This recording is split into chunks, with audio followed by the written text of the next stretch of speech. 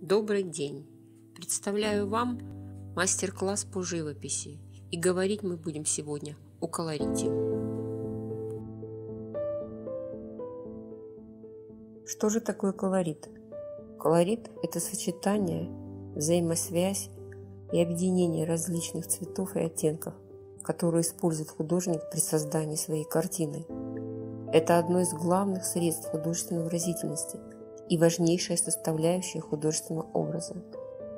В зависимости от используемых художников цветов, колорит может быть темным или светлым,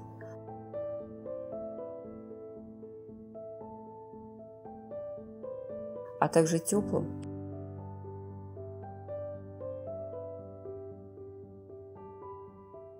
или холодным.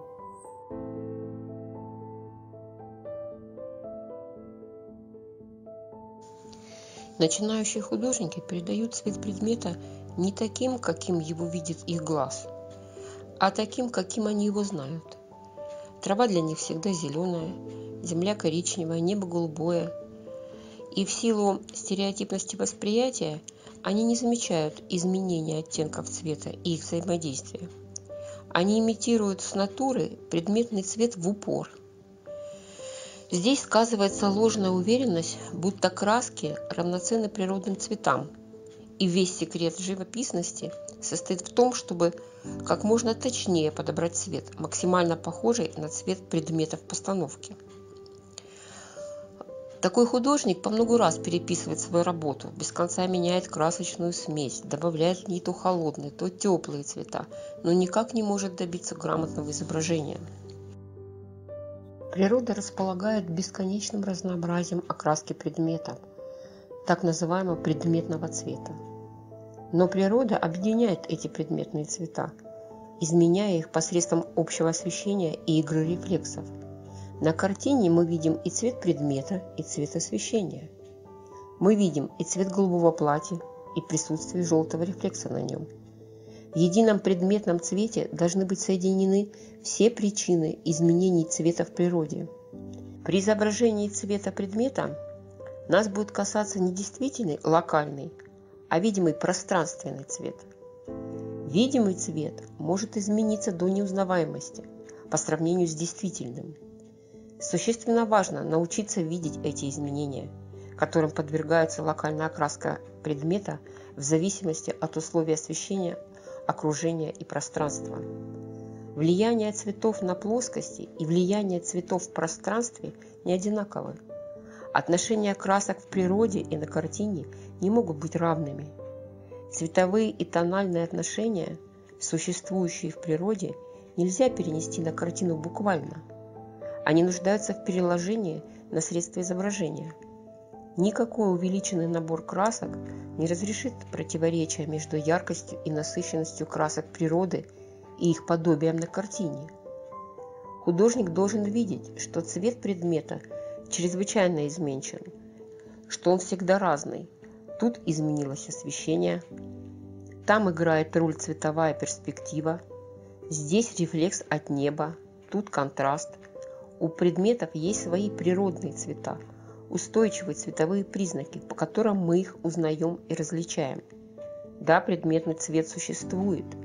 Мы его лучше всего видим при дневном освещении. Мы его узнаем, если освещение изменится. Но дословное перенесение на плоскость природных цветов приводит к невыносимым дисгармониям. Дилетант не видит, что в пространстве даже разноречивые цвета объединяются – и переносит их на плоскость, не понимая, что на плоскости нет условий для их гармонизации. Природные цвета по яркости намного превышают нашу цветовую палитру, которая располагает художник. Сила самых мощных белил намного слабее, чем, предположим, белый лист, освещенный солнцем. О силе огня и говорить не приходится – то есть сила огня настолько высока, что ни одна краска в мире не сможет передать нам огонь на холсте. Предположим, если мы зажжем спичку и сравним ее огонь с самой яркой краской нашей палитры, то они будут очень сильно отличаться. Колоризм в узком смысле слова – это особое качество живописного произведения. И поэтому для создания колорита необходима живописная интерпретация цвета, то есть не простая комбинация открытых цветов, а система тонких отношений. Давайте сейчас с вами рассмотрим ряд работ, где явление общего колорита хорошо заметно. То есть все цветовые пятна натюрмортов объединены общим цветовым строем.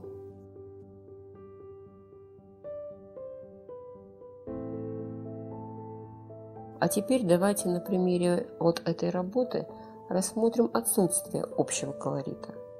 То есть мы видим хорошо написанные предметы.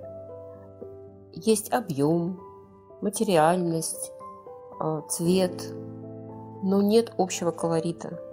То есть каждый цвет этого натюрморта написан отдельно, изолированно от других цветовых пятен. То есть красные гранаты написаны просто красным. Не наблюдается никакой взаимосвязи с голубым фоном. Белая драпировка, которая должна отражать все цвета рядом лежащие, так как белый цвет отражает лучше всего, написано самостоятельно. Рыжий кувшин также не связан ни с одним рядом лежащим цветовым пятном.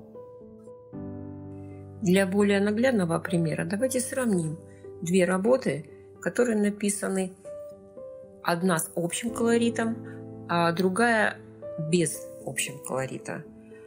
Как видите, они значительно отличаются друг от друга.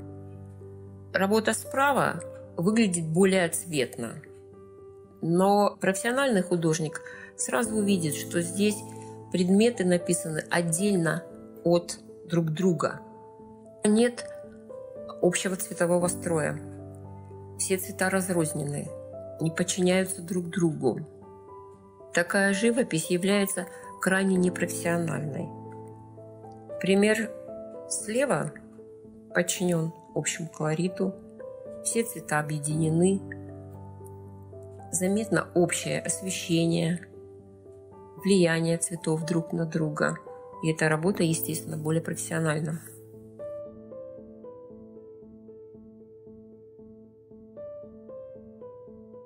Основу для узнавания и передачи в живописи предметного цвета при сохранении особенностей освещения, рефлексов и среды составляет закон отношений.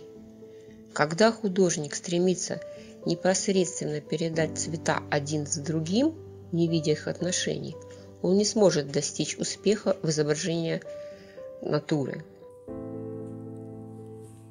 Давайте посмотрим еще на один пример – вы видите перед собой фотографию натюрморта и выполненный натюрморт.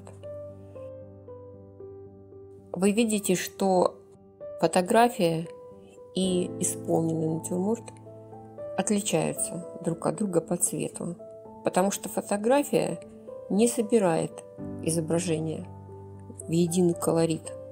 Художник сознательно изменил цвет, не переписал его один в один с натуры. На фотографии мы видим, что зеленое яблоко не вписывается в общий колорит. Оно выглядит кислотным, чужим. Серый фон уходит в фиолетовый оттенок. Цвета контрастируют друг с другом и не завязываются в общий колорит. Художник сознательно изменил цвет. Яблоко на этюде – выполнена более спокойным. Серый цвет фона тоже уходит в зеленоватость. Художник убрал фиолетовый оттенок фона. Весь этюд сгармонировался. Все цвета теперь подчинены друг другу, и это более приятно для глаз. То есть мы можем сказать, что этот этюд написан в едином колорите. Этюд написан в системе отношений – то есть взят, взяты отношения цветов друг с другом. Как же научиться вести работу отношениями? Тут возникает необходимость понимания важности цельности видения. Только при умении держать в поле зрения всю изображаемую постановку можно увидеть и передать ее цветовые отношения. Если не смотреть на постановку в целом, невозможно увидеть эти отношения. Необходим метод сравнения. В ходе работы при определении цветовых и тональных отношений не следует смотреть в упор на отдельные предметы, вне связи их с окружающими предметами. Необходимо постоянно сравнивать цвет одного предмета с цветом другого, сравнивать силу света одной поверхности с освещенностью другой и таким образом определить цветовые и световые отношения. Чтобы правильно изображать натуру, нужно научиться смотреть на нее обобщающим взглядом.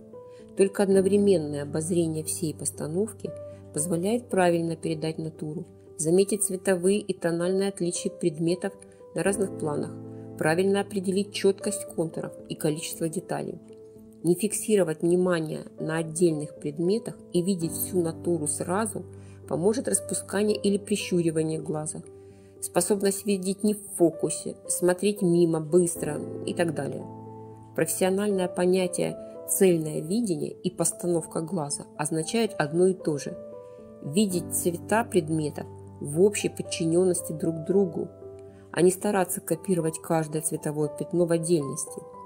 Если научиться правильно смотреть на постановку, не упираясь глазами в один предмет, а оценивая всю натуру в целом, то с этого времени вы начнете работать как художник-профессионал.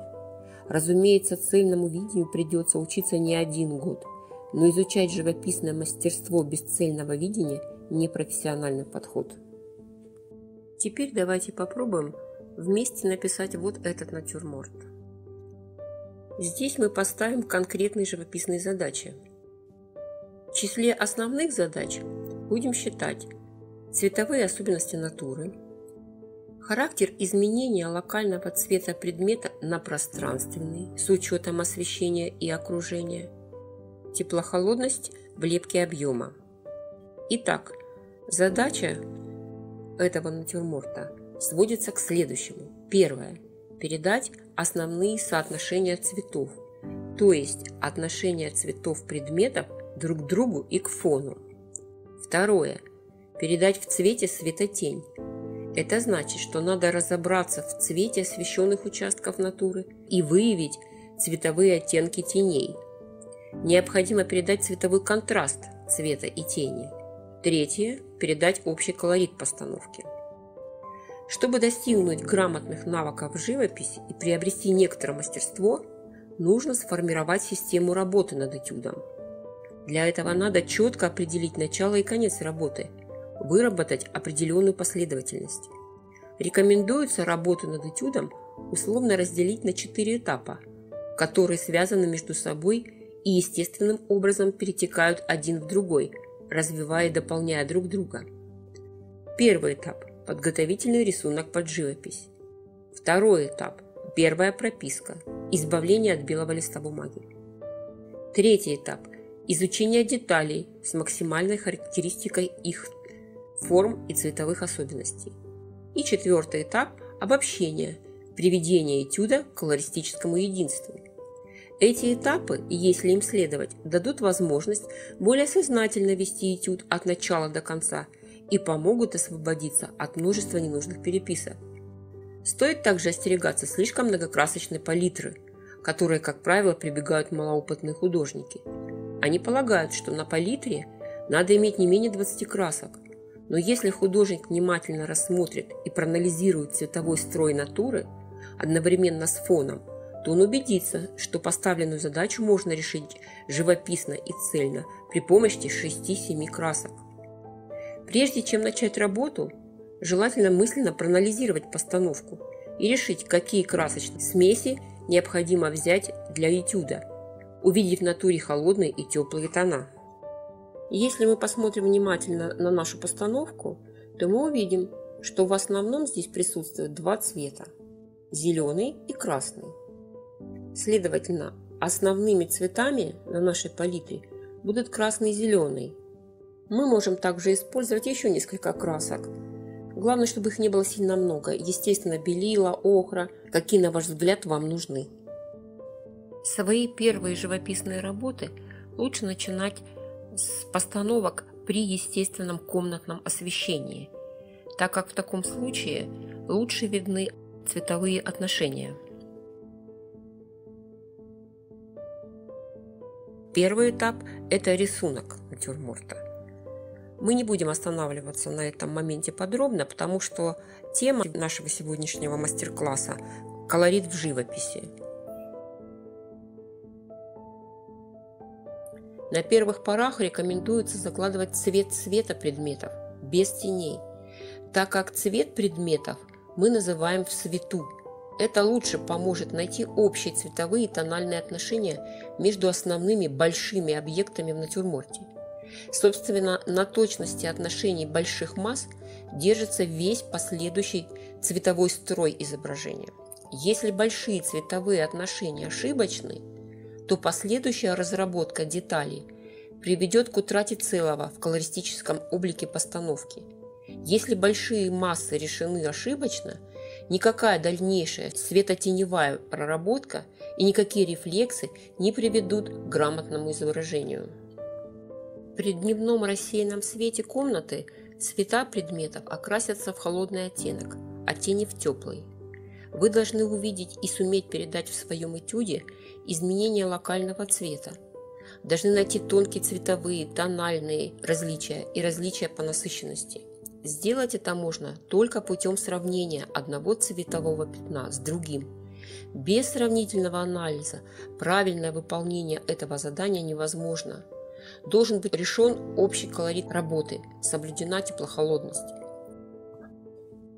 Верная передача отношений приводит живописное изображение как бы к одному знаменателю, единому тоновому и цветовому масштабу.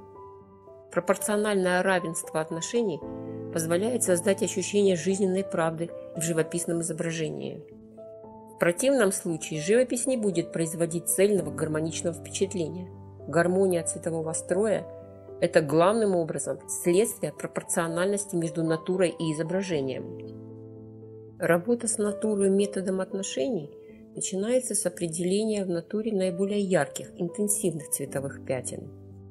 Это не позволит залезть в белесость, и колорит будет более насыщенный и густой.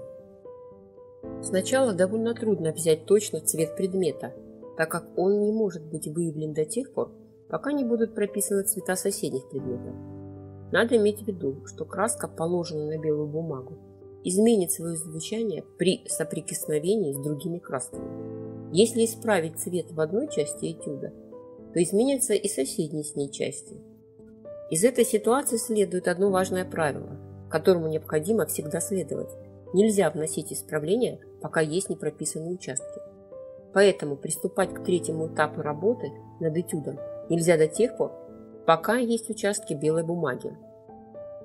Тут хотелось бы еще отметить, что когда мы закладываем основные цвета установки, мы должны класть мазки не посередине белого холста, белой бумаги, а рядом с уже прописанными цветами, чтобы взять цвет более точный. Как мы уже говорили, все предметы внешнего мира существуют нераздельно а во взаимосвязи. Основное объединяющее влияние производит на все предметы цвет освещения. Цвет лучей источника света всегда оказывает свое влияние на цветовую характеристику всех объектов. Он как бы входит составной частью во все краски природы, внедряясь в них. Рефлекс от неба придает теням холодноватый оттенок. Теплый солнечный свет объединяет освещенные поверхности. Вечернее искусственное освещение обычно придает всему общий желто-оранжевый оттенок. Если присмотреться летом к лужайке, можно увидеть массу оттенков зеленого цвета. Небо, на первый взгляд, кажется голубым, но сравнив небо у горизонта над головой, легко убедиться, что оно по цвету разное. И художник-профессионал никогда не пишет траву одной зеленой краской или голубое небо одной голубой. Он подбирает цветовые смеси для каждого участка поверхности. Но как бы ни были разнообразны по цвету и зелень, и небо, например, при вечернем освещении в их цветовой состав вливаются одни и те же теплые оттенки солнечного света. И эти объединяющие оттенки необходимо ввести в живопись, показав тем самым, каким источником света освещалась натура. Красный и зеленый в нашей постановке тогда будут согласованы, когда в них войдет цветовой оттенок прямого и отраженного светового потока. Цвет, не подчиненный общей тональности колорита, кажется чужим, случайным и разрушает цветовую целостность, а без колористического единства картина распадается на отдельные живописные куски, возможно и удачные, но существующие сами по себе. Помимо того, что в нашем натюрморт мы заложили все цветовые пятна относительно друг друга, можно добиться колористического единства чисто механическим путем. Во все краски, которыми мы будем работать, введем одну и ту же краску. Например, голубую, которая является цветом освещения. Когда белых мест не осталось, необходимо сравнить заложенные цвета с натурой – Возможно, придется усилить или ослабить цвета отдельных предметов для правильной передачи отношений всех частей этюда. Тут еще раз стоит напомнить, что мы закладывали цвет света предметов. Наметив все основные тонально-цветовые отношения, можно переходить к моделировке форм. Мы с вами знаем, что круглые предметы делятся на свет и тень. Свет, в свою очередь, делится на сам свет и блик. Тень делится на собственную тень, рефлекс и падающую тень. Самое напряженное место находится на стыке света и тени. Мы это место называем перелом. В живописи освещенных мест всегда должен чувствоваться тот или иной цвет, цветовой оттенок, а не белильность. Здесь стоит сказать о ложном представлении, которое существует в академическом преподавании уже много лет. Оно звучит так. При изображении предмета и его объема надо иметь в виду, что на натуру, на освещенную часть идет серебристый свет, затем теплая тень и в ней горячий рефлекс. Это представление ошибочно и не соответствует природе. Убеждение, что свет серебристый, влечет за собой представление, что освещенные части предметов менее окрашены, белесые – но мы знаем, что можем видеть цвет только если есть свет. Чем больше света попадает на предмет, тем он цветнее, а не только светлее. Та часть предмета, которая получает больше света, имеет больше цвета. И чем меньше света, тем меньше цвета. В тени цвета нет.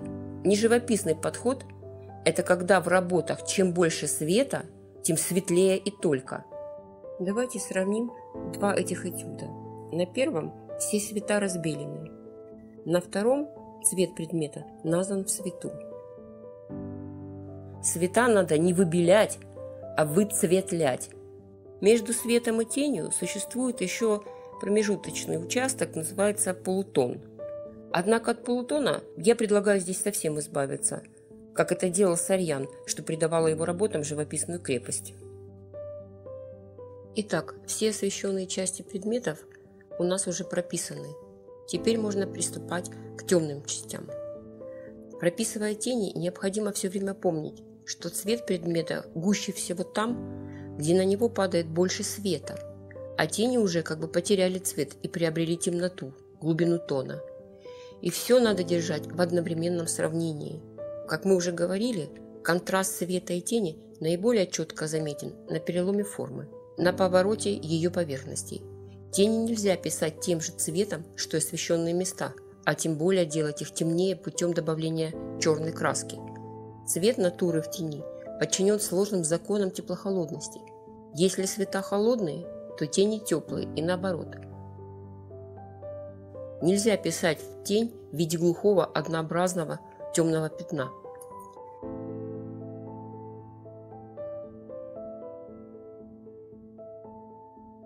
Передать общий колорит также помогают рефлексы. Рефлекс в живописи демонстрирует связь предметов между собой и их влияние друг на друга, что придает работе целостность. Именно рефлекс дополняет работу художника. Латинское слово «рефлехус» означает «отражение». В живописи этим термином обозначается отраженный свет с теневой стороны от находящихся рядом предметов. Это может быть отражение драпировки, стены, стола, а также любых других объектов, соседствующих на полотне.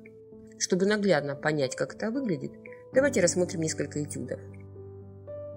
Главное правило, которое нужно запомнить, рефлекс изменяет локальный цвет предмета, передавая ему оттенок рядом стоящего предмета или фона. Еще один важный момент. Если окружающие предметы имеют теплые тона, то и рефлекс нужно рисовать теплым. Если объекты имеют холодные тона, отраженный свет на вашем предмете тоже будет холодным. Вот такая закономерность.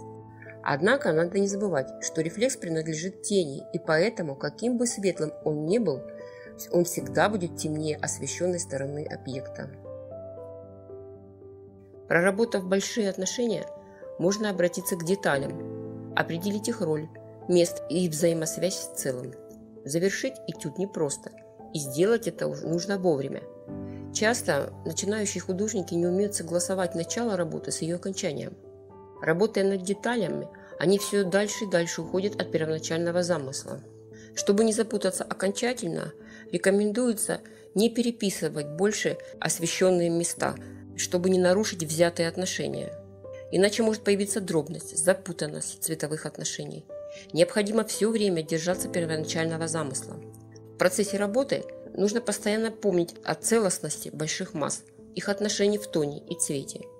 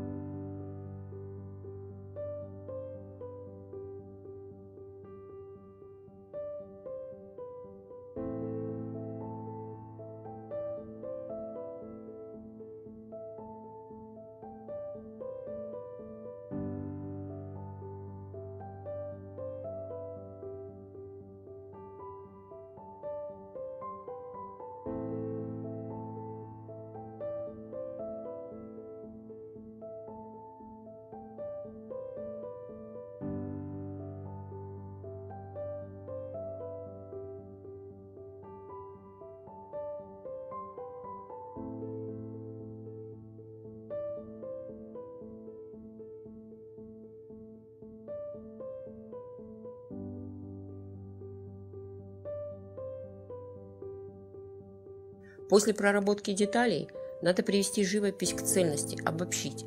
Объединить светом или тенью мелкие подробности, усилить или успокоить слишком яркие пятна цвета, уточнить влияние освещенности, воздушной среды. Как уже не раз говорилось, необходимо все цвета воспринимать одновременно. Видеть натуру цельно. Видеть натуру цельно – это значит каждое место воспринимать в окружении, а не упираться глазом в ту точку, которую пишешь.